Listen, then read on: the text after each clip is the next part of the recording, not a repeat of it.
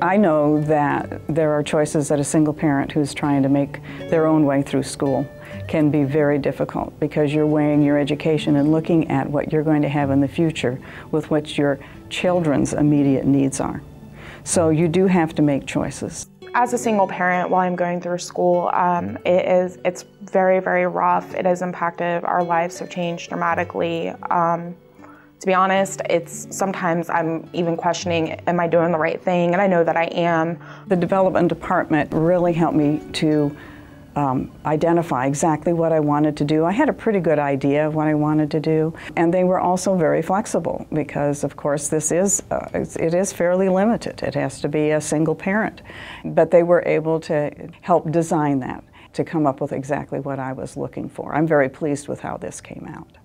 The scholarship from Joyce meant the world to me. It helped me in so many ways. It helped me get books. It helped me get supplies for my schooling. It helped me get food, pay my bills. I mean, things that I struggle to do every semester because of so many expenses of trying to go through school.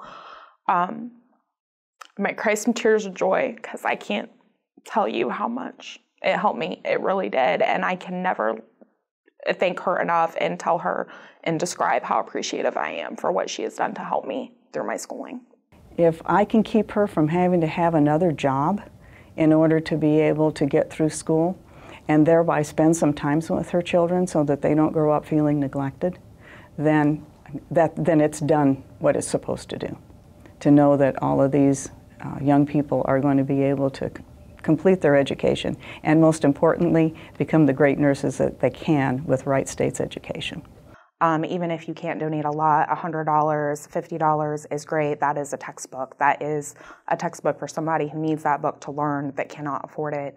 And it is life changing and helps their dreams come true. What a wonderful young lady she is, and how pleased I am that I'm going to be able to help her realize her dreams. It gives you hope because you're not struggling by yourself and it makes you feel that somebody cares. There's, there's been very few times in my life when I have felt like I was doing what I was supposed to be doing on this earth.